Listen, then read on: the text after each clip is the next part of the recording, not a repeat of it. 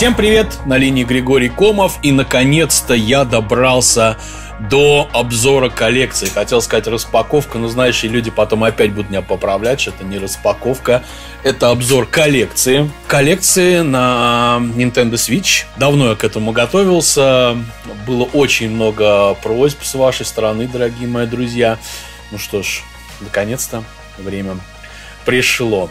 Я хотел распаковывать сразу по 3, по 4, по 5 букв, как это было с прошлыми консолями, там с PlayStation 2, с Xbox Original, да, но, во-первых, игр довольно-таки много, больше, чем мне казалось. А во-вторых, э, YouTube, как вы знаете, умирает и дергается в конвульсиях сейчас, и загружать э, продолжительные ролики на площадку очень и очень затруднительно. Поэтому этот видос сначала выходит на YouTube, и через 2-3 дня как раз загрузится, там пройдет все проверки, ну, он появится на YouTube. Мы будем работать с YouTube, пока он функционирует, пока еще как-то шевелится. Ну, а как перестанет шевелиться, ну да и хрен с ним. Те, кому интересно мое блогерское творчество, так назовем его, перейдут на ту площадку, на которой буду обитать я. Ну и со временем мы там наберем нужное количество единомышленников. Сегодня мы распакуем буквы A, B, первые две буквы английского алфавита. А, звучит немного, да, но на самом деле распаковывать достаточно. Будут интересные издания. Есть гигантское коробище, есть что-то Limited Run. Большинство картриджей я, конечно, скрывать не буду, ну, потому что, как правило, там нет мануала, там просто, ну, картинка и сама карточка, да, сам картридж. Но если издание какое-то интересное, пухлое, толстое, очевидно насыщенное всякими ништяками, то, конечно же, мы его парадно вскроем, я сам посмотрю, что там. Я, как вы знаете, не заморачиваюсь на тему там силд, не силд. Вот, я немножко неправильный коллекционер, потому что все, что я покупаю, я планирую однажды распаковать и планирую в это поиграть. Ну, исключение составляет разве что, ну, прям совсем ценные вещи. Nintendo Switch консоль потрясающая. А, купили мы ее на старте продаж. То есть в 2017 году она вышла. А, буквально через месяц уже была у меня. Причем купил я ее у человека с Авито. А, парень наигрался, что-то ему не понравилось. Он продавал за очень вкусную цену. А, Nintendo Switch порядка 15 игр уже тогда, или 10, я уж не помню. Но самое главное, что там был Mario Odyssey, в который мы залипли всей семьей. Ну, про Mario Odyssey я скажу отдельно, когда э, придет очередь буквы М. Консоль я это очень люблю, она особенная, она вне конкуренции, скажем так, не участвует в этой постоянной консольной гонке. Пусть э, сейчас эта гонка все равно условная, да, но, тем не менее, какая-никакая гонка есть, и Switch не, не участвует, Switch давно уже всех выиграла. Это как, я не знаю, там, соревнуются машины бизнес-класса, кто быстрее наберет 100 километров в час, кто дальше проедет и так далее. А есть странная, неведомая летающая херня, вот такая вот на мониторе у меня нарисованная. Вот. Э, она может быть по каким-то своим э, техническим параметрам э, проигрывает, ну, это так и есть. Но у нее есть неповторимый шарм, неповторимая какая-то своя фишечка. Вот. И по продажам, надо сказать, она делает обоих своих конкурентов. Вот так-то. Ну, игры, конечно, там специфические то, что делает сама Nintendo, это все такое э, user-friendly, family-like, да, такое добренькое, единорожно-радужное, ну, радужное в хорошем смысле слова, без всяких там вот этих вот новомодных течений, запрещенных в, в нашей замечательной стране. Давайте распаковывать. Очень долгое вступление получилось, но я его почикаю, порежу, и все будет очень-очень здорово. Погнали!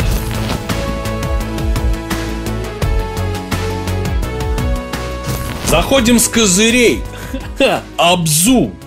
Вот такая вот штука. Игруха потрясающая, супер рэр издание. Это такой экшен-платформер, наверное, можно так это называть, от третьего лица про подводный мир. Очень мне понравилось. Мы с сыном прошли. Был период, когда у меня старший сын увлекался подводным миром. Там обитателями Марианской впадины. Вот это все. Там какие рыбы бывают страшные, ужасные. И, конечно, когда он увидел эту игру, это прям для него была магия.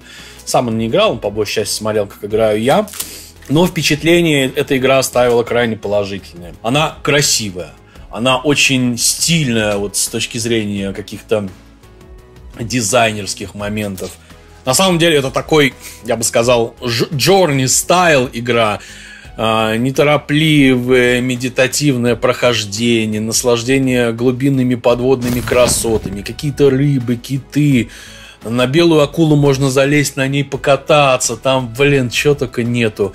И все это под потрясающую амбиентальную музыку, очень яркие краски, какие-то вот головоломки приходится решать, но они, как правило, несложные, и интуитивно можно понять, что от тебя хочет игра.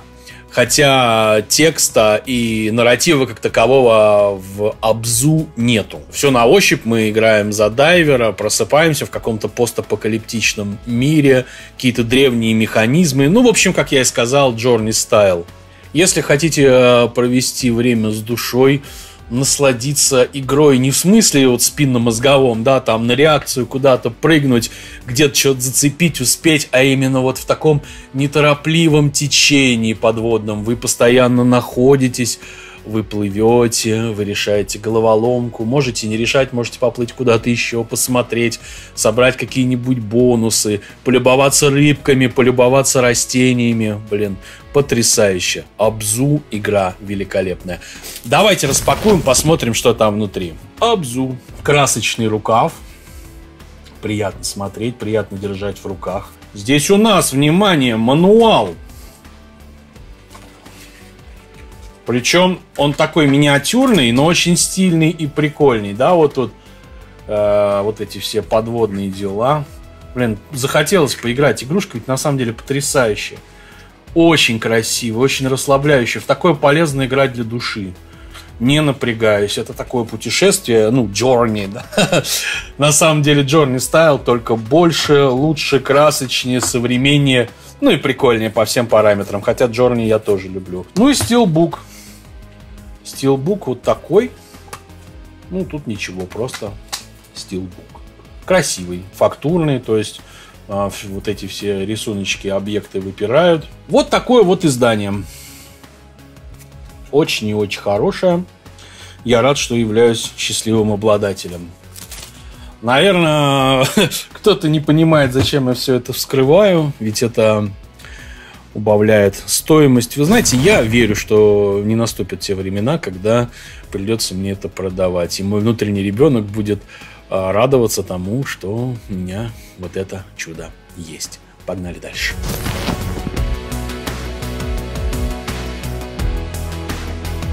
Семейка Адамс. Игра по известной франшизе и мультики, и фильмы. Но причем это по современному мультику, который мне решительно не понравился. Вот, мне кажется, там вся магия Тима Бертона была растеряна.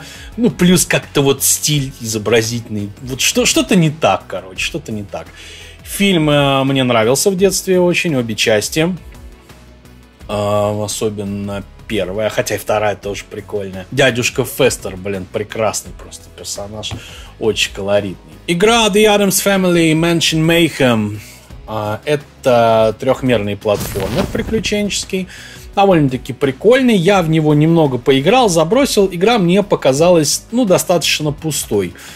А, здесь мы можем играть за всех главных э, членов семьи, за Мартишу Адамс, за Гомеса, за меланхоличную Уэнсдей, ну и за ее бешеного брата Паксли. У каждого свои уникальные умения, мы бегаем по локациям, решаем головоломки. Ну, прикольно на самом деле, если вот вы фанат серии, наверное, вам эту игру заиметь обязательно. Тем более здесь можно играть э, по сети в четвером, то есть одновременно. В этом есть свой прикол. Но, не знаю, я поиграл часик, Правда, играл не на свече, играл на PlayStation 4. Ну и что-то стало как-то однообразно, скучно. Ну, это такой вот прям а, игра по мультику. Неплохая игра. Добротный-добротный середняк. На полку поставить приятно, иметь в коллекции полезно. Но так, чтобы играть, там как-то заморачиваться, я бы, наверное, не стал. Посмотрим. Adam's Family, Mansion May. Вот такие игры нечастые гости э, на консолях, в принципе. Advance Wars 1 и 2, Reboot Camp. Advance Wars это классическая стратегия, причем пошаговая. Выходила она на Game Boy Advance в далеком 2001 году, потом было переиздание на Wii U. На этом издании представлен ремейк двух частей. Есть похожий современный аналог. Ну, я не играл, у меня сын играет. В игру называется Тапс. Там красные против синих, а здесь а, оранжевые против голубых. Ну, и тех, и других сейчас в нашей стране упоминать можно в разных контекстах. вот, но здесь буквально означает цвет. Оранжевая фракция и голубая фракция. Вот. И они друг против друга воюют. То есть мы строим боевые юниты, рассчитываем а, позиции, вырабатываем стратегии нападаем, атакуем, ну, короче, побеждаем.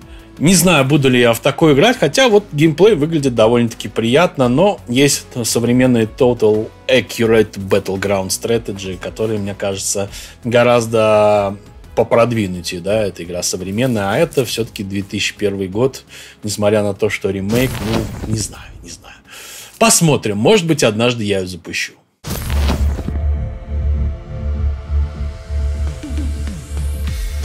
Among the Sleep. Эту игру я прошел на выходе. На PlayStation 4 я в нее играл.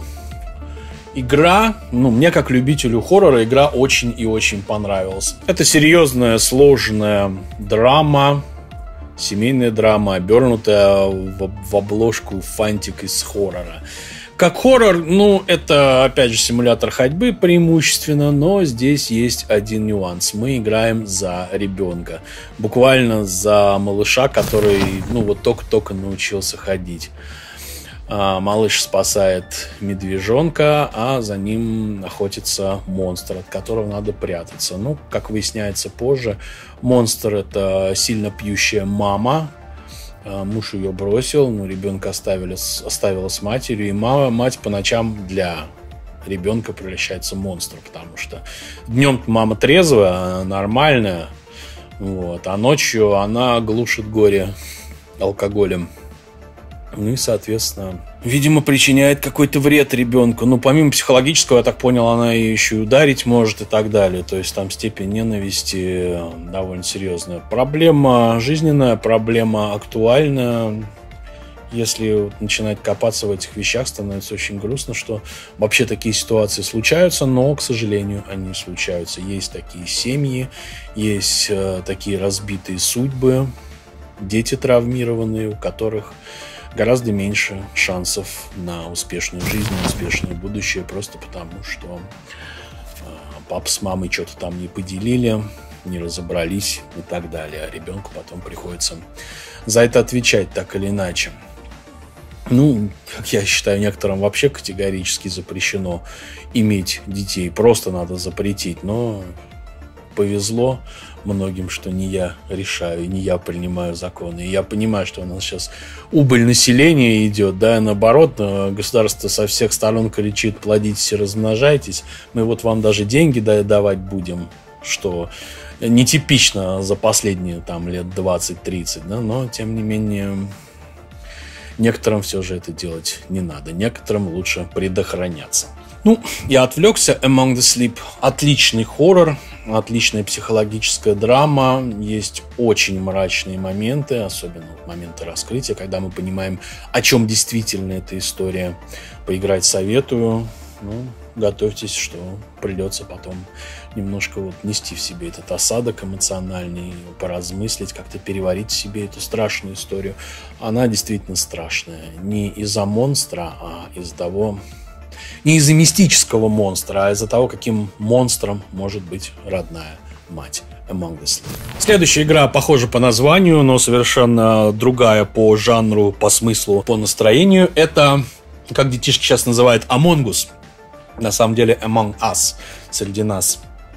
Это очень классная игра. Я бы, наверное, никогда в нее не стал играть и не узнал бы про ее существование, если бы не мои дети. а среди детишек эта игра очень-очень популярна.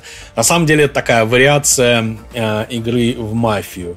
Мы играем э, за милых человечков в, в скафандрах, они разноцветные, ну, там можно их всячески украшать, какие-то костюмчики менять, шляпки вешать, питомцев к ним добавлять.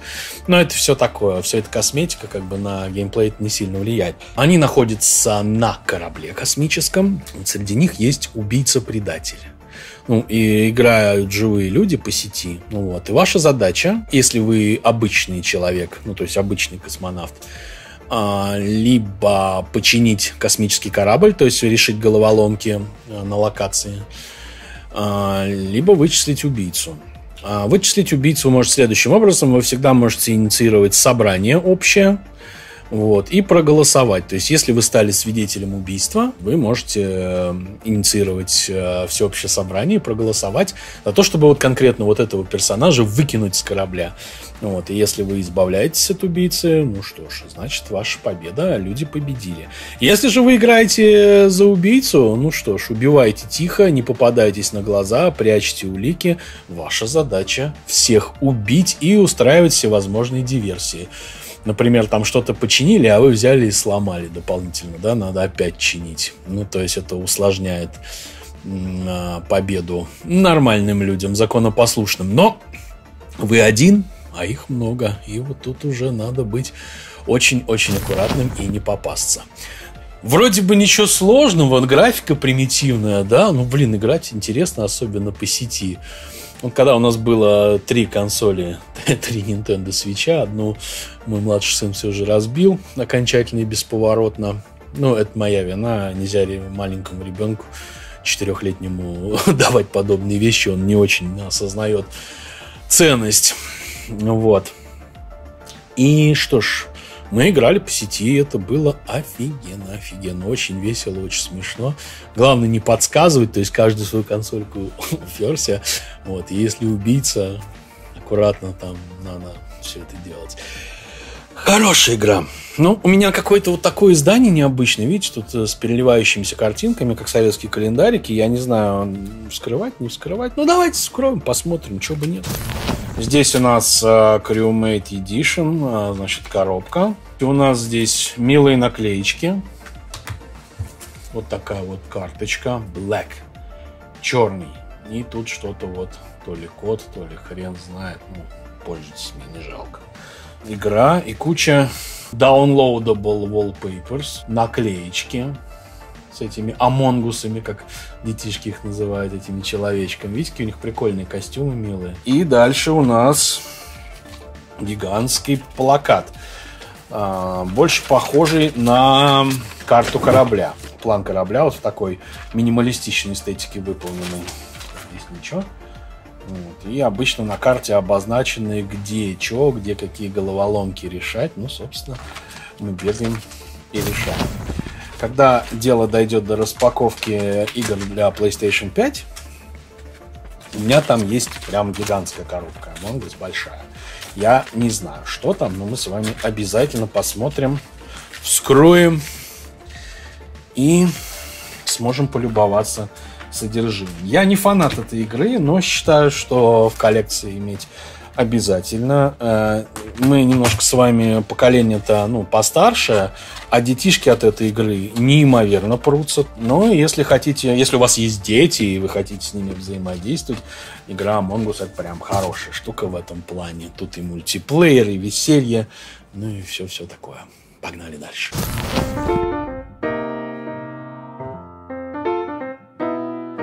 Такие вещи. Вот теперь зашибись. Animal Crossing New Horizon. Культовая серия для детишек на Nintendo. Ну, я не знаю, сколько там игр выходило. Но много. Скрывать не буду. Видно и ощутимо, что издание обычное. То есть ничего не весит. Просто коробочка и картридж. Ну, это симулятор жизни на острове. Разные зверята там строят свое счастье, строят свои дома.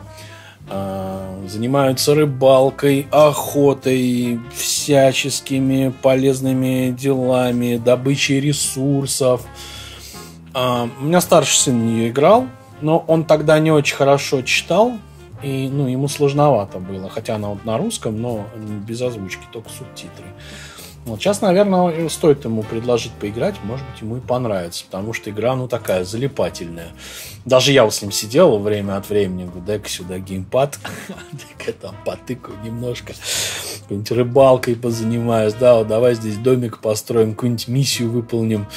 Очень милая игра, очень няшная, вот прям для детишек потрясающая.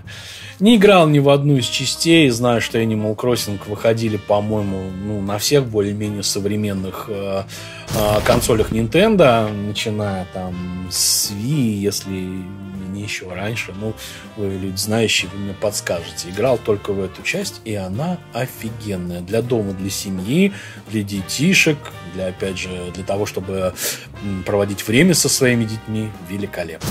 Animal Kart Racer – ну, во-первых, сразу вижу, no game card is included, то есть картриджа внутри нет. Download code only, только код загрузки. Скрывать не буду.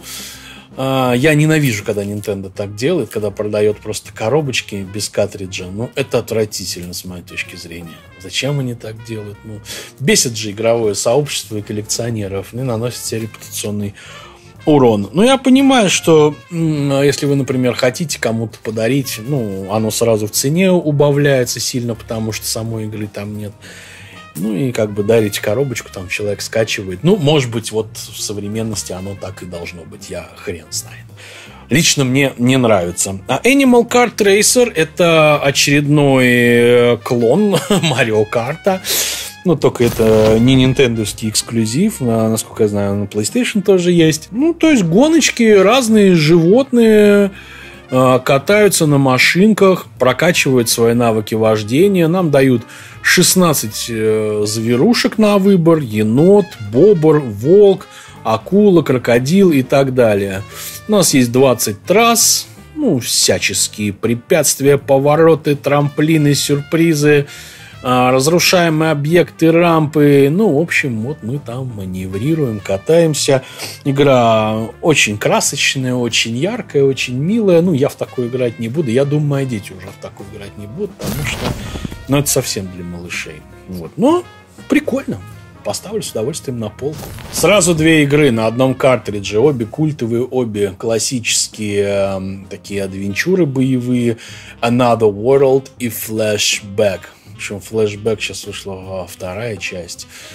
Я в нее так и не поиграл. Вроде такая культовая франшиза, странно. А, ну, что-то ни пресса игровая, никто ничего особо не пищит. Хотя флешбэк в свое время был ну, просто технологическим чудом. Так же, как и Another World. Вот я Another World очень хорошо помню. Я пришел к папе на работу, это год, наверное, 94-й. У них там стояли компьютеры, 386 уже, по-моему на тот момент мега мощные. И мне показалось, что там такая графика в этом Another World, что там просто что-то запредельное, практически мультфильм.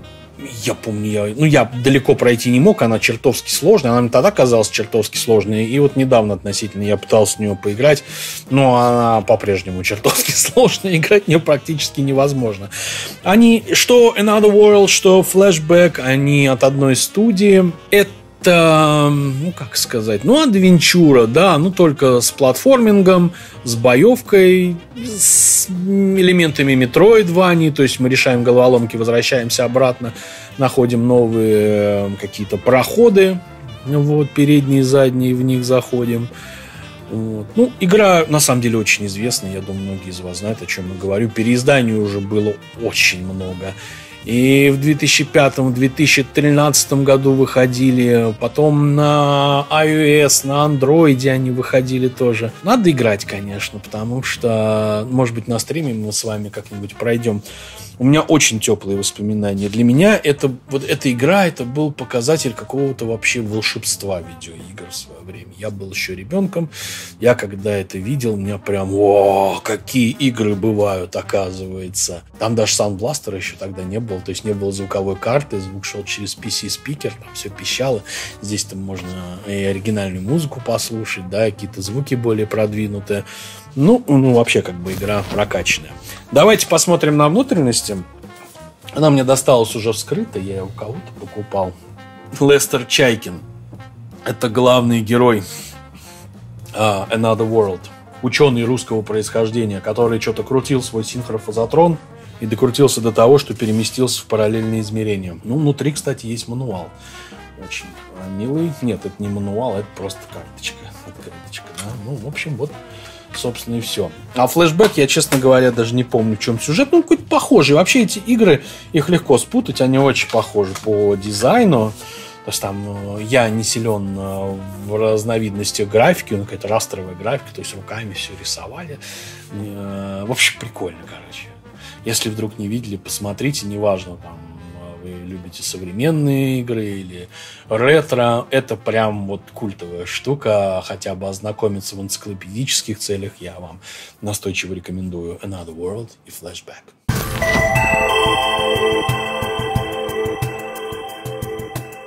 Еще один звоночек из прошлого.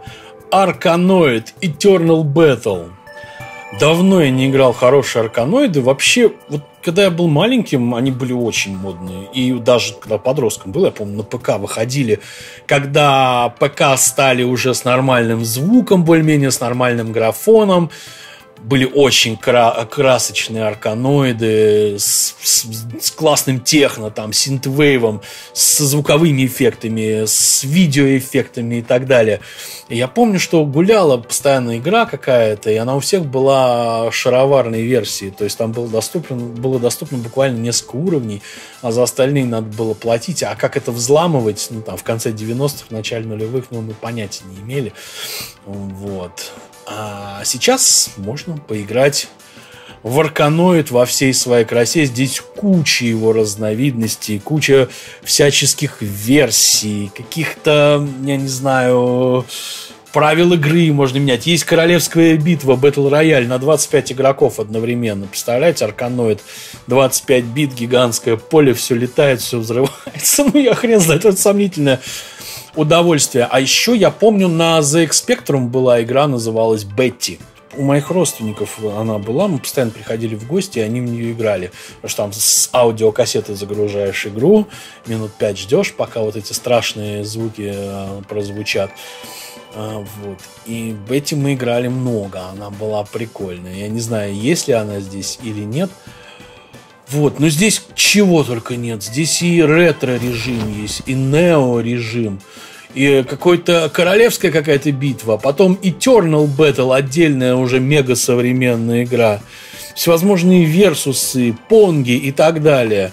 Ну, давно не выходило хороших арканоидов. Э, сам, самая первая игра вышла аж в 76 году. Она была такой вариацией понга. Да, и с тех пор популярность у нее только росла. И вот в последнее время подзабыли, а вот сейчас вспомнили. Арканоиды я обожаю. В них можно залипнуть. Они прикольные, яркие и хорошо убивают время. В хорошем смысле этого слова. Арканоид Eternal Battle. Играть обязательно. Вот такая игрушечка ARMS досталась мне бесплатно. Ну, тут на самом деле нечего вскрывать, нечего показывать. Выходила она, по-моему, она выходила на старте продаж вместе с консолью. Досталась она мне э, бесплатно вместе с консолью, когда товарищ мне продал.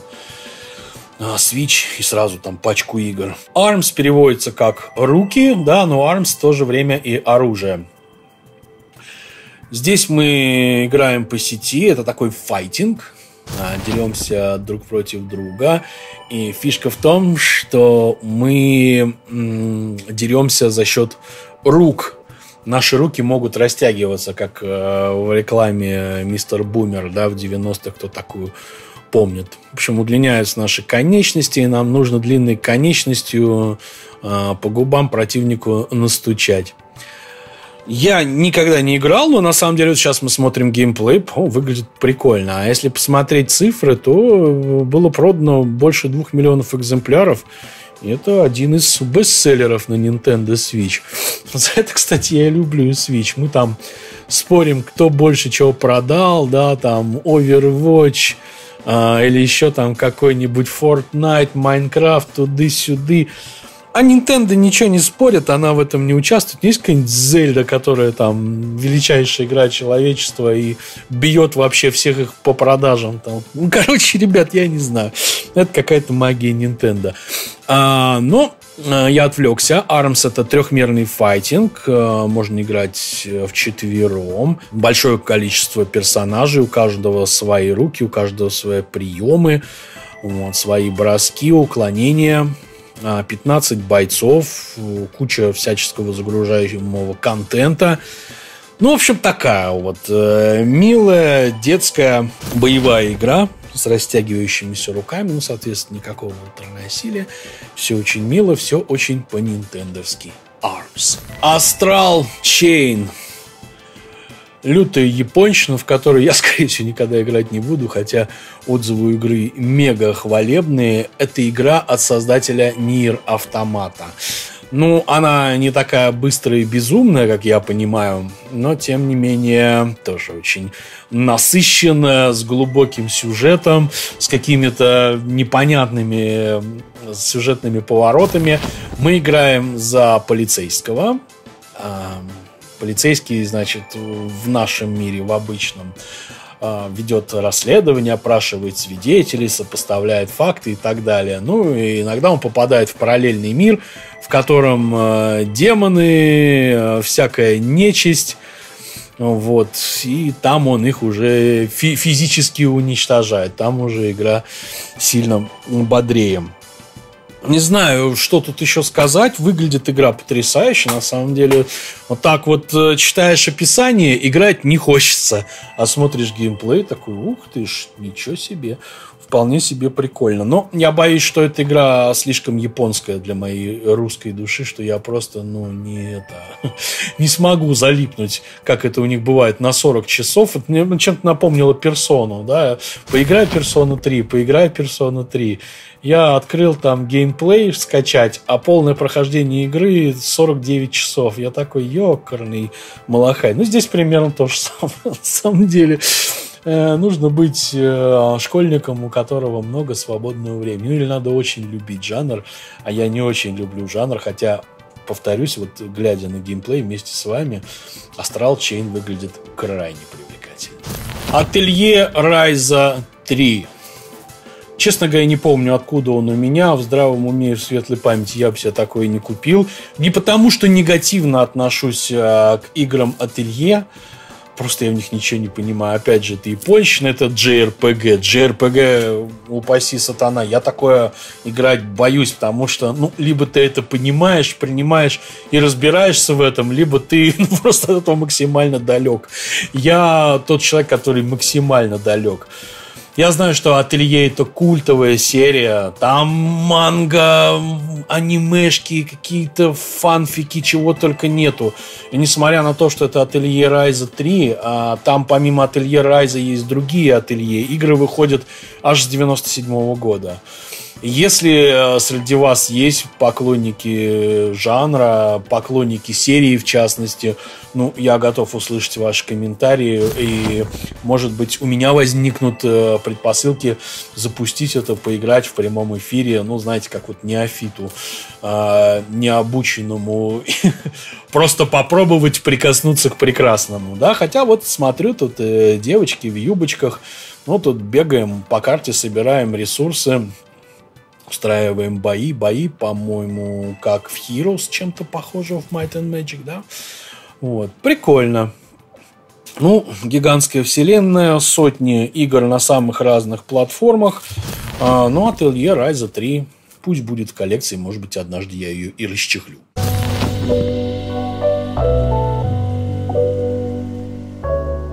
Сборочка Baldur's Gate 1, Baldur's Gate 2 тоже очень я далек от этой серии, хотя вижу отзывы на Baldur's Gate 3 недавно вышедший, ну, не удержался себе на PlayStation 5 ее купил, но там прохождение 100 часов, ну, ребят, ну это вообще, короче, я не знаю, надо жить. Я в Скайриме в свое время пожил, я так понимаю, это примерно то же самое. Культовая РПГ, ну просто наикультейшая во вселенной D&D, то есть Dungeons and Dragons, э, настолки известный, ребят, я думаю, вы в этом разбираетесь больше. Я купил этот картридж, ну, во-первых, цена была привлекательная, во-вторых, ну, просто Baldur's Gate, культовая серия. Вот у тебя есть третья часть, которую ты, кстати, обещал однажды. Это сейчас сам себе в камеру говорю, да, я обещал в нее однажды по поиграть. Но боюсь, это будет э, в какой-то глубокой старости. Хотя мне другие мне говорят, что я до старости не доживу, что я сдохну от ожирения. Но посмотрим, посмотрим. Время покажет. Вот. Я пока умирать не собираюсь. А, Baldur's Gate 1, Baldur's Gate 2. Ну, вот мы сейчас вместе с вами смотрим геймплей. Выглядит как а, типичная, на самом деле, RPG-шка. Вот, ну, наверное, она была одной из первых, поэтому считается культовой. Тут у нас куча рас, человек, дворф, эльф, гном, полуэльф, кого только нету очень серьезная кастомизация, то есть характеристики персонажа, что умеет, что не умеет, мировоззрение, цвет кожи. И все это, я так понимаю, влияет. Тут вплоть до того, что голос вроде как даже влияет на какие-то параметры игры, то есть, ну, как вы будете взаимодействовать с окружающим миром и с персонажами другими. Вот, все это можно комбинировать и так далее. Ну и важный элемент это исследование гигантского игрового мира. Это то, что фанаты РПГ обожают. То есть пропадаешь в этой реальности. Тут у меня со Скайримом так было. Я, честно говоря, я просто там залипал. У меня бывшая жена, она тоже жила в Скайриме. Мы даже вообще, я, по-моему, уже рассказывал, мы даже сексом перестали заниматься. Мы просто как бы там я приходил с учебы или с работы, привет, привет, а она ну, в свой Xbox там и это... Я ее не видел и не слышал. Вот после этого мы расстались, но не из-за Скайрима. Причины все же были другие. Может быть, однажды, если я не умру от ожирения, Baldur's Gate будет запущен и пройден. Так, ну теперь покажу сразу несколько позиций. Давайте вот Байонетта 1 плюс Байонетта 2 Bayonetta 3. И вот у меня еще вот такое издание, вот, наверное, самое большое издание э, на свече сегодня. Это вот такая коробища Bayonetta 3, которую мы скоро с вами распакуем. Ну, для начала пару слов о самой игре. Я знаю, игру Bayonetta у нас любят. А Станислав Андреевич, мой друг, говорит, что э, любит ее преимущественно барсуки, которые там Э, мастурбируют на Милф Доминатрикс, ну то есть тут у нас э, главная героиня это ведьма с шикарными формами, с роскошными вторичными половыми признаками, в кожаных одеяниях, со сверкающими бедрами и ягодицами, грудью там и так далее. Ну, в общем, то, что мальчикам очень-очень нравится. Вот, ну, она, значит, прыгает, бегает, машет ножками, убивает всевозможных демонов, в чем э, прикол игры, я так и не понял. Я ее проходил на Xbox 360. Это моя первая консоль была Xbox 360. Я играл вообще во все, что там можно было скачать с интернета. Ну и ну, консоль была прошита, само собой. Ну, вот. Я помню, надо было еще нарезать болванки, потому что это была не фрибутная консоль. И э, мне Байонета запомнилась каким-то эпилептическим сумбуром. То есть все взрывается, что-то яркие цвета, постоянно какие-то драки. Не знаю. Ну, вот я вроде не эпилептик, но я чуть им не стал, мне кажется, когда играл эту игру. Я знаю, японцы любят такие аттракционы. Ну, мне такое, вот, честно говоря, не очень. Ну, коллекция она у меня есть, пусть будет. Все же какие-то воспоминания хорошие она мне оставила. Ну, вот. Ну, скорее не сама игра, а вот о той эпохе, когда я только прикоснулся к консольному миру вот, и, и вообще, в общем-то, по-настоящему прикоснулся к миру видеоигр. Вот так прям осознанно, глубоко погрузился, и мне все это очень нравилось. Каждая игра, которую я проходил тогда, была шедевром, то есть там, какой-нибудь Alan Wake, Gears of War.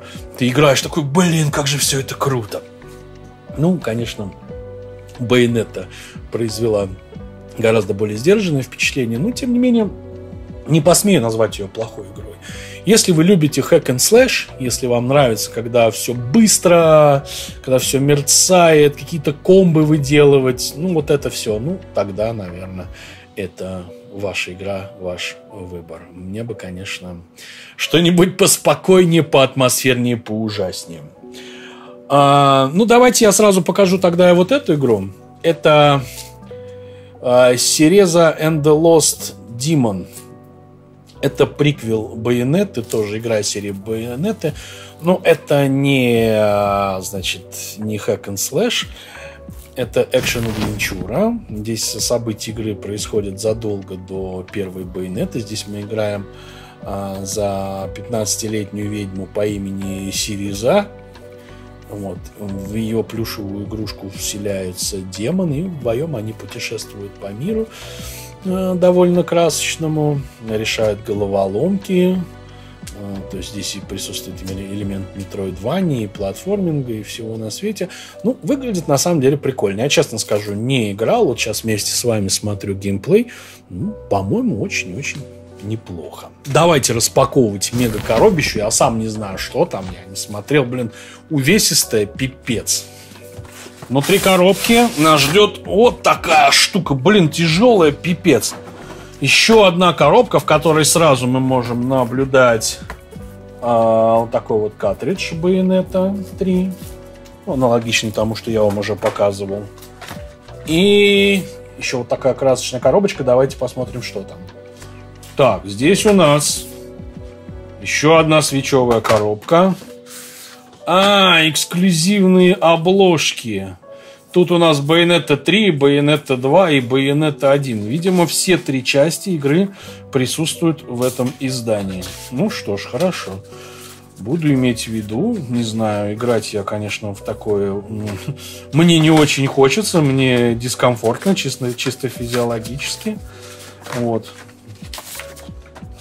Честно говоря, даже какой-нибудь э, Devil May Cry, э, мне кажется, не такой сумбурный, как Байонета, хотя Devil May Cry пипец какой сумбурный, но э, моего мозга и моей реакции хватает, чтобы его победить. А Байонета я как-то, ну, сложно у меня с ней. Хотя первый я проходил, но это было давно. Так, здесь у нас Art of Bayonetta 3. Пипец, тяжеленный арт-буч. Арт-бучелла, я бы сказал. Прикольно. Давайте скрываем. Безжалостно. Фактурная бумага, сразу говорю, очень красивая. Вот это вот э, грудастая героиня. У японцев какой-то бзик, что ли, на грудь больших размеров, я не знаю сами японки, видимо, не грудастые, у них какой-то недостаток э, женской груди. Ну, по дизайну прикольно, посмотрите. Тут скетчи, наброски, костюмы, все на свете, да? Дайте-ка вот так немножко поставлю, блин, вот так. Блин, не помещается на моем столе. У меня скромный рабочий стол. Потрясающе. Очень круто. В общем, это гигантский артбук. Ребят, его даже в руках держать тяжело и страшно. Так, ну в коробке больше ничего нет. Собственно, он и составляет основной вес этого издания. Итак, Bayonetta 3. Вот такая вот штукенция. Горжусь, что она у меня такая есть. Не знаю, у меня на свече не так много гигантских изданий, хотя будут, будут еще интересные всякие открытия. Ну, думаю, вам понравится. На самом деле я даже ну, не исключаю, что вот эту могу продать, потому что, ну, Bayonetta 3, я как-то вообще холоден к этой франшизе, но мне не думаю, что она дорого стоит. Посмотрим, в общем-то. Может быть, стоит уже со взрослым вот сегодняшним моим восприятием попробовать запустить, тем более это уж третья часть. Третью часть я в глаза не видел, я даже не знаю, как она выглядит, как она играется. Вот, может, там настолько все круто стало, что все недостатки второй части и первой тоже как-то они там прикрутили, сделали баланс, и теперь все хорошо. Ну, посмотрим. А пока вот такие у меня есть байонеты.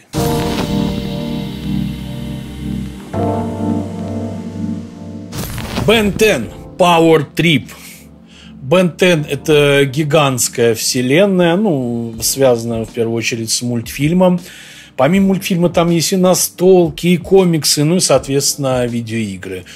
Никогда бы про нее не узнал, потому что я не целевая аудитория, уже довольно взрослый был, когда оно все было. Но вот у меня старший сын увлекся а, франшизой, увидел мультик, ему понравился, я ему там накачал этих серий побольше. И он прям смотрел, а, радовался, вдохновлялся. Здесь нам показывают историю мальчика. А, он, он, его сестра и дедушка путешествуют по Америке в домике на колесах. Хотел сказать, в доме без колес. В домике на колесах. И у него есть какие-то инопланетные часы. Уж я не помню, откуда он их стырил. Вот. Но э, с помощью них он может превращаться в разных супергероев, разных монстров. В огненного, в водяного, в резинового. В общем, такой разные, короче, ну там вариации. Ну и, соответственно, с помощью этих э, суперчасов и его превращений он э, справляется с инопланетной угрозой. То есть там какие-то инопланетяне постоянно хотят Землю захватить, но наш отважный борец вместе с сестрой и с дедушкой, э, превращаясь в всевозможных супергероев, отражает эти атаки. Ну, если говорить конкретно про эту игру, то это яркий экшен с видом от третьего лица. А, Бен и его семья, значит, поехали в Европу, но то ли пришелец, то какой-то злой волшебник опять все испортил, какие-то там тайные четырех, тайные четыре кристалла откуда-то украл, и эти кристаллы надо вернуть на место, иначе прилетят пришельцы и всем устроят а-та-та. Ну, то есть такой сюжет очень детский, примитивный, игра очень детская. Выглядит неплохо. Я помню, сын в нее играл. Сказал, что ну, скучная, надоедает быстро. Ну, оно и не удивительно. Оно сделано для фанатов франшизы преимущественно. Ну, а мультик, знаете, я сначала как скептически отнесся, а потом что-то сел и залип. Ну, оно прикольно. Я вот свои практически 41 не стал бы, конечно, такое смотреть. Но вот если включить внутреннего ребенка и представить, что в моем детстве был бы вот такой Бен Тен, я бы охренел. Конечно, это не хуже там всяких черепашек ниндзя и прочих. Хотя сейчас меня, наверное, не, не все со мной согласятся, мягко говоря. Но вселенная добротная, вселенная культовая в определенных э, детских кругах. Пусть оно так и будет с удовольствием ставлю на полку. Ben 10 Power Trip. Bendy and the Ink Machine. Нечастый гость на физике, ну, не сказать бы, что очень редкий. В эту игру я играл. Причем это хоррор, survival хоррор. Ну, можно сказать, симулятор ходьбы, хотя не совсем здесь можно сопротивляться а, недругам. Играл не по своей воле опять же, через YouTube игра стала очень популярна. Детишки э, начали говорить мне про вот Бенди то, Бенди все, Бенди офигенная игра. Папа, играй в Бенди. Ну, преимущественно младший сын. Лев. И я начал играть в Бенди, я его прошел. И вы знаете, получил определенное удовольствие от этого. Первое, а, то, что офигенные дизайны игры. То есть Бенди это такой персонаж из старых мультиков, ну, когда мультипликация только набирала обороты, это начало 20 века, да, то есть там 20-30-е годы, вот эти черно-белые мультфильмы с э, дерганой анимацией и так далее. Бенди, значит, как раз вот такая демоническая девчушка, ну, собственно, мы играем за художника, нас приглашает э, старый друг-мультипликатор, мы приезжаем на студию, друга нет, а на студии творятся всяческие сверхъестественные непотребности. Ну, создатель Бенди был настолько одержим своим творением, что его персонажи начали оживать. Очень прикольно. Сейчас уже есть э, вторая часть, э, Bendy and the Dark Revival она называется. Я в нее начинал играть, но что-то мы забросили. Ну, интерес у детей угас э, к франшизе, потому что уже когда они выросли, переросли, да, а я сам вот как-то не знаю. Но можно на самом деле пройти на стриме, почему бы нет. Игра стильная, игра интересная. Не знаю, как она работает на свече. Я играл на PlayStation 4. На PlayStation 4 она, конечно, плохо работала. Там просадка по частоте кадров, там вылеты были пару раз. Ну, то есть печально работала. Я надеюсь, а, на свече работает лучше, ну, с учетом того, что это инди-игра, то есть она там не графонистая, не какая-то э, мега сложная, да, ну, такая вот чисто технически очень средняя выглядит, но э, берет своим необычным дизайном и содержанием. Bendy and the Ink Machine. Big Brain Academy на русском языке, причем прикольно. Это игра головоломка, игра для тренировки мозгов. Э, на самом деле входит в серию Brain Age. Brain Age там куча игр для развития своих умственных способностей. То есть там тренировка памяти, сообразительности и так далее. Ну, собственно, здесь мы этим самым и занимаемся. А, улучшаем свои умственные способности. Мы решаем задачки, проходим тесты, можно играть э, с друзьями, то есть мультиплеер до четырех игроков, можно в одиночку, можно онлайн.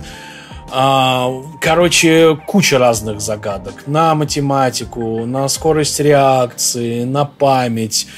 Чего здесь только нету. Я вот заморачивался, помню, на PS Vita была игра «Умник». Может, кто помнит. Ну, вот это примерно то же самое хорошая. На самом деле надо запустить, попробовать. Тем более на русском языке.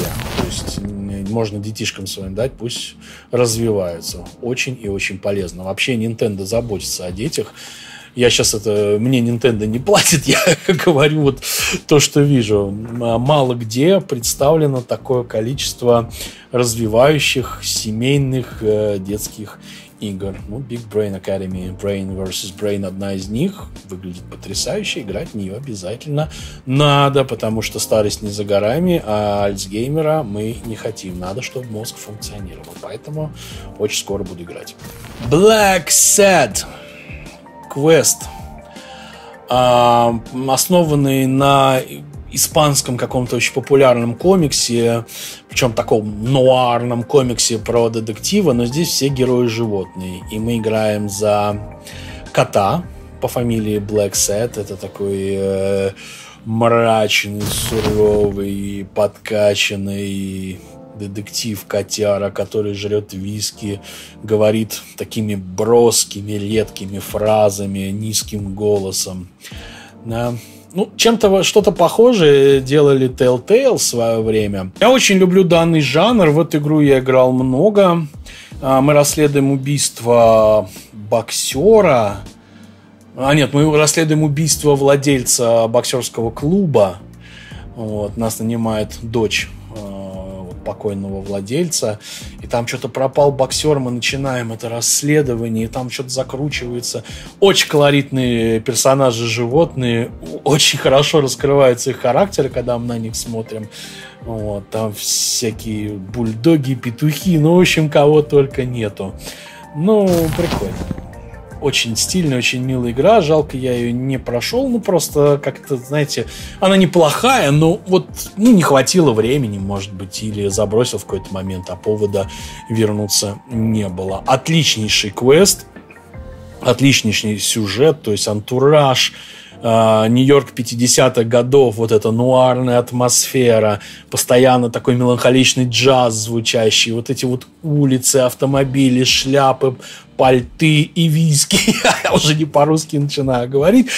Black Set прикольный. Давайте посмотрим, что внутри. У меня какой-то limited edition. Ну, скроем, сейчас узнаем, что там такого лимитированного. Так, ну, во-первых, вот ну, во-первых, переливающиеся открыточки, да, Black Set, вот такой вот котик. Джон Black Set, главный герой. Так, давайте мы вскроем. Тут, оказывается, еще одна упаковка. Десмонд О'Лири. Джек Стиомп. Соня Дан, это наша нанимательница. Такая красивая, стильная киска. Ну вот, такие карточки. И, собственно, сама игра, но она... Ну, давайте скроем, но мне кажется, она пустая, судя по весу. Да, тут ничего нет. Просто картридж. Я скажу так, если вы любите квесты, в эту игру играть обязательно. У меня был э, товарищ, он давно не играл в видеоигры, как-то, ну вот, просто уже взрослый, не то, что я. херней всякой не занимается, не играет, а всякие вот эти ваши дебилки, да. Э, но когда-то он давно играл, очень любил квесты, типа Full Throttle, там Grim Fandango. И вот он сел играть в Black Set и прям говорит, я вернулся в прошлое, вернулся во времена тех самых игр, они очень хорошие. Вот. Ну и Black Set, в частности, отличнейший квест.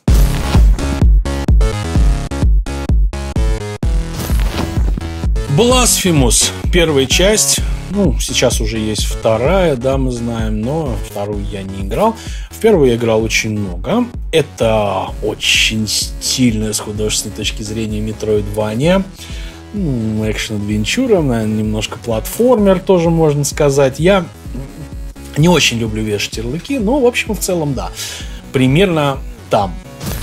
А, мы играем за средневекового рыцаря. Ну, то есть это такой какой-то член ордена какого-то рыцарского, да, священного.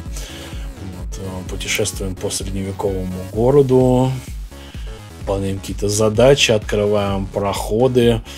Блин, ну, я не помню сюжет, я как-то ее забросил в какой-то момент. А, а, ну, как это у меня часто бывает, у меня нет, знаете, такой вот идеи фикс, раз игру запустил, надо ее пройти. Я как поиграл, получил удовольствие. Если нет внутреннего желания, да, нам доходить до конца, я могу и забросить.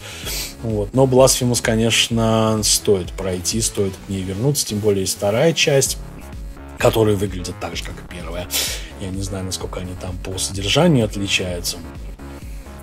Блин, ну, Blasphemous это очень круто, ребят. Вот вы сейчас видите геймплей, и вы, наверное, понимаете, да, о чем я. Вот просто та рисовка, тот стиль, который просто привлекает все внимание, невозможно оторваться. Настолько вот потрясающе выглядит игра. А, отличнейший экшен-платформер Metroidvania, но обратите внимание, у нас тут написано Deluxe Edition, и я чувствую, что внутри что-то есть. Давайте мы вскроем и посмотрим, что же там Нас сразу встречает код на скачивание каких-то а, мега-ништяков, наклейки а, с символами персонажами и объектами из игры. И вот такая вот кустодия, да. Это город средневековый, по которому мы ходим. Кастория. Сейчас вспомнил. Прикольно, блин. Стильненько, похоже на обложку какого-нибудь black metal альбома вполне бы сошло. Ну, а здесь как бы уже смотреть нечего, да, просто, просто игра. Если не играли Blasphemous и увлекаетесь видеоиграми в целом, все, играть надо обязательно. Игрушка офигительная, одна из лучших по дизайну. Если меня спросить, вот игра, который, дизайн которой тебя поразил, пожалуй, Blasphemous будет в списке совершенно точно. Bloodstained Ritual of the Night. Хорошая игра от создателя Castlevania Symphony of the Night. Метроидвания в абсолютно таком а, магическо-японском стиле. Мы играем за девочку по имени Мириам, симпатичная, в короткой юбке, бегает.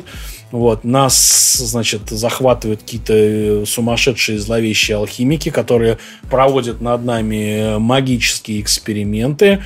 А, Мириам впадает в кому, но возвращается через много-много лет и возвращается со сверхспособностями, с желанием разобраться, что с ней случилось, потому что у нее амнезия, ну и заодно нападать э, мерзким алхимикам э, по их алхимическим жопам. Короче, вот как-то так. Игра выглядит очень стильно. Я играл в нее на PlayStation 4, я помню, жил у родителей какое-то время, а когда ковид был, вот точно, я что-то сел в нее играть, залип на пару часов, но потом забросил, потому что что-то меня отвлекло, какая-то другая игра. Ох, э, так много игр выходит, вот во все поиграть просто не успеваешь, а очень-очень хочется. Вот бы больше силы, больше часов в сутках, да, вообще, конечно. Я бы столько вам контента, ребят, фигачил, но, к сожалению, имеем, что имеем. Игра, тут написано Коджи и Гараши. Ну, это вот как раз чувак, ответственный за Castlevania Symphony of the Night. Стильная, красивая, яркая. Любителям Metroidvania играть обязательно.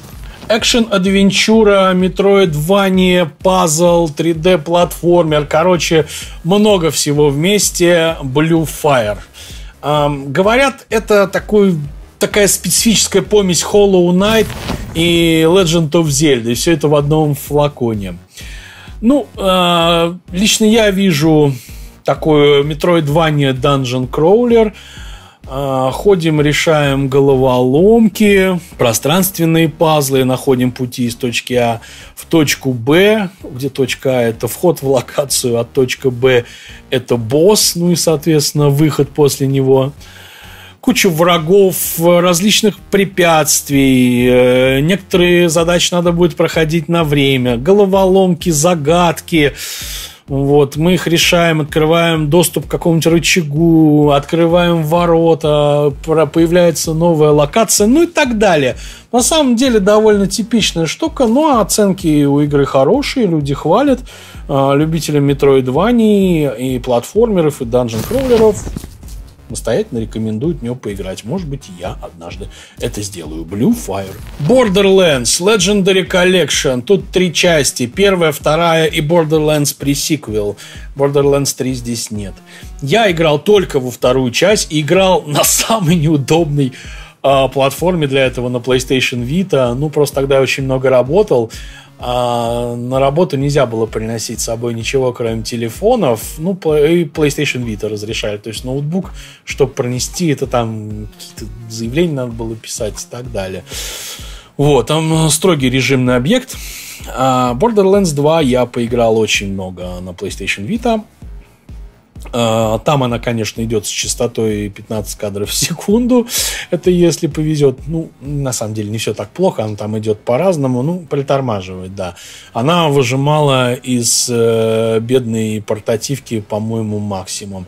Но, тем не менее, играть можно было. Двигаться по сюжету тоже. Это хороший такой а, 3D-экшен RPG кстати, готовится фильм, уже постеры везде развесили, и фанаты франшизы в ожидании прям.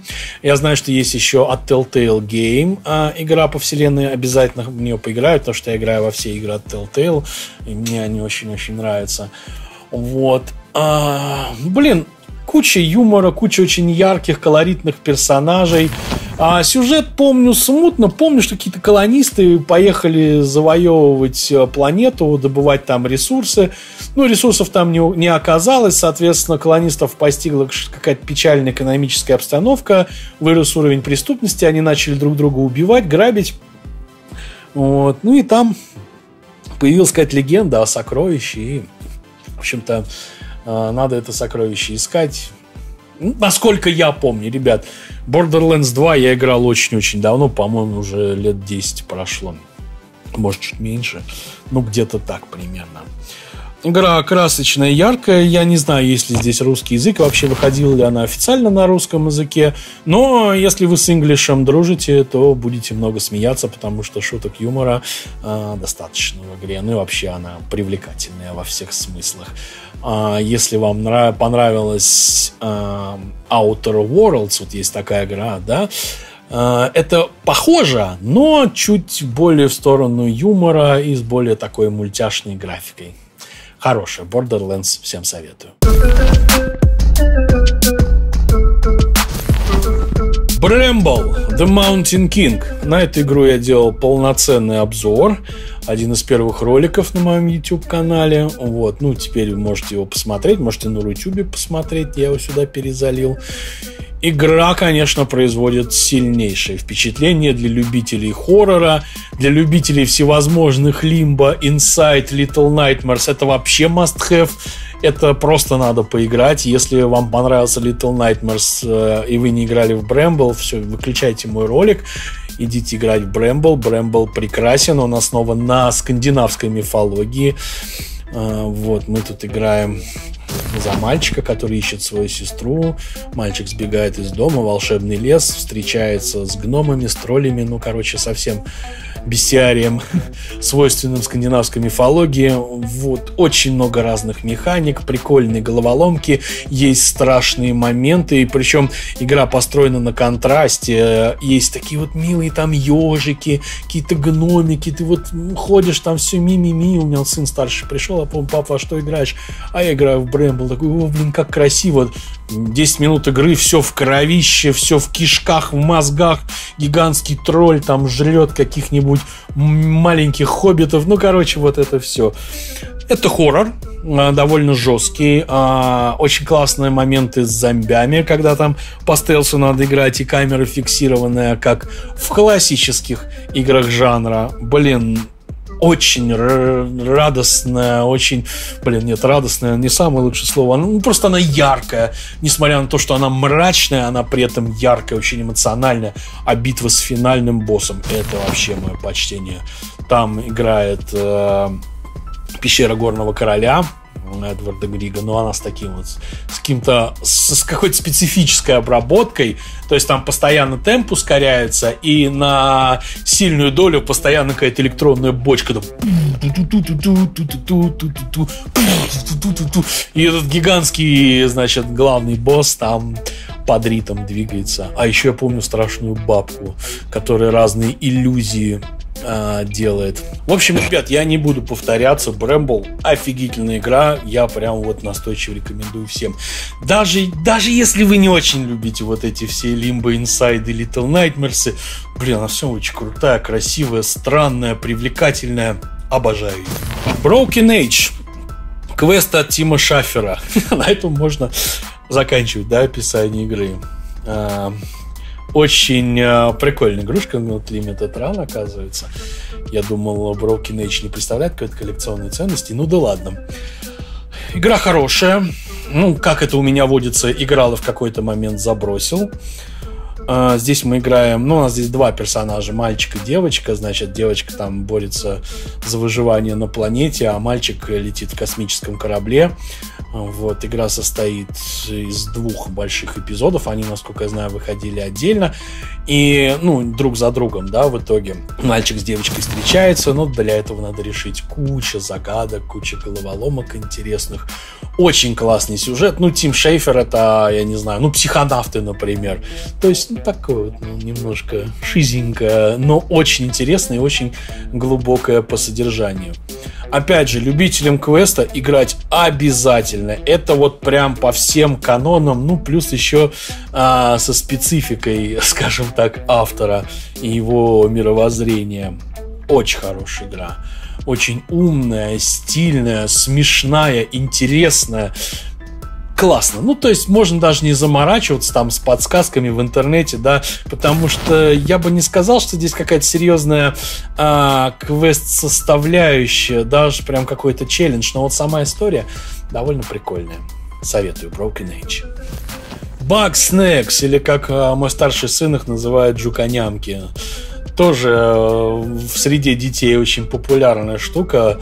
Мегаблогеры, такие как Витек, ну, например, Витек Плей, да, я знаю, есть канал, я не смотрю, но дети у меня просто в восторге. Это парень, мой ровесник, может, помладше, играет вот во всевозможные Бенди, Амонгусы и прочее, но он не ругается матом, что характерно, что очень редко а, для подобных персонажей. Ну и очень грамотно играет и рассказывает вообще про суть игры. Вот.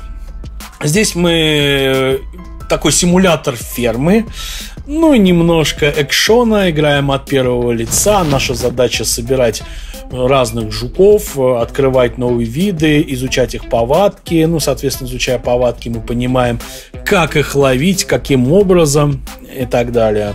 Ну, наверное, это больше э, адвенчура от первого лица. Вот так, наверное, правильнее. Выразиться. Вы, вот так, наверное, правильнее обозначить э, жанр игры. Короче, жука-нямки, баг снекс, очень прикольно. Все жуки издают специфические звуки. Вот, мы оказываемся на локации, нужно поймать разное количество разных жуков. В итоге мы запоминаем их еще и по звучанию. Э, они говорят странные разные слова. И вот, и мы слышим где-то, ага, где-то там справа сверху. Пойдем туда, сходим, сюда сходим. Ну, соответственно, решаем головоломки, выполняем квесты. Квесты нам раздают самые разные колоритные NPC. Вот. Я сам не играл, видел, как играет старший сын. Ему очень-очень Bugsnax нравились. Обязательно поиграйте, обязательно подарите, покажите детям. Жуконямки прикольные. Ну что ж, друзья, это первая часть обзора моей коллекции. Две буквы мы прошлись, но на самом деле по времени это получилось очень даже немало. Я старался быть кратким и лаконичным. Надеюсь, вам понравилось. Надеюсь, что-то вы для себя нашли. Может быть, что-то захотели приобрести и во что-то захотелось поиграть. Кто знает. Если так, то значит моя миссия выполнена. Подписывайтесь ко мне на Рутюб. Нам сейчас важно сделать э, безопасный переход с умирающего Ютуба на пока еще живой и здравый Рутюб. Я не знаю, получится ли у нас сделать это безболезненно, без потерь, но я рассчитываю на вашу поддержку. Вот. контент мне нравится делать, э, нравится для вас стараться, показывать игры, фильмы, а, про музыку с вами нравится разговаривать, книжки читать на стримах. Блин, ну вы вообще классные. Я очень горжусь своими подписчиками. У нас тут мудаков нет, у нас ну, почти все хорошие. Кого-то я знаю лично, кого-то знаю близко, но не лично. В общем, ребята, вы молодцы. Буду для вас делать больше интересных видео. С вами был Григорий Комов. Не скучайте, скоро увидимся. Пока-пока.